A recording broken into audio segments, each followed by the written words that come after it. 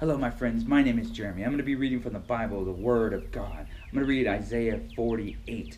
Israel refined for God's glory. So turn it up and listen up and focus. This is the Word of God. Isaiah 48. Hear this, O house of Jacob, who are called by the name of Israel, and who came from the waters of Judah, who swear by the name of the Lord and confess the God of Israel.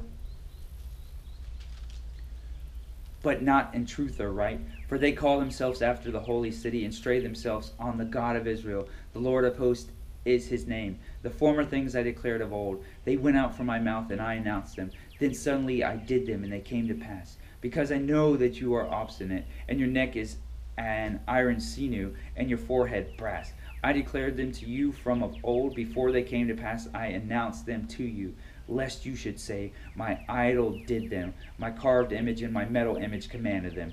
You have heard, now see all this. And will you not declare it?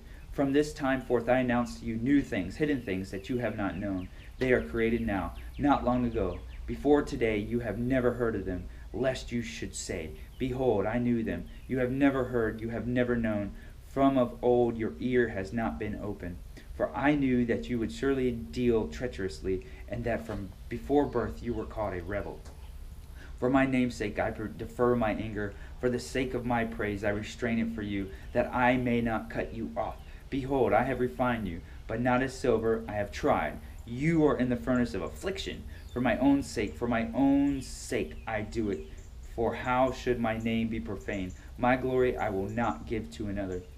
The Lord's call to Israel. So be 48:12.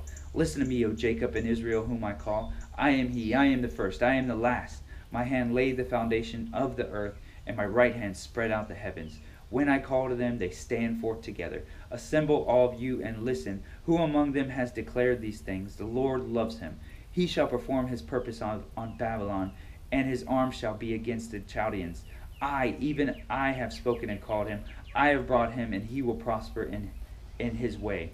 Draw near to me and hear this. From the beginning I have not spoken in secret. From the time it came to be, I have been there. And now the Lord God has sent me and his Spirit. Thus says the Lord. You remember your Redeemer, the Holy One of Israel. I am the Lord your God, who teaches you to profit, who leads you in the way you should go.